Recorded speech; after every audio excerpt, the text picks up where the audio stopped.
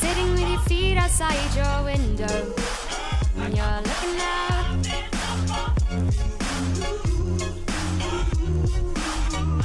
You didn't think. I just because she never came through She would've moved on.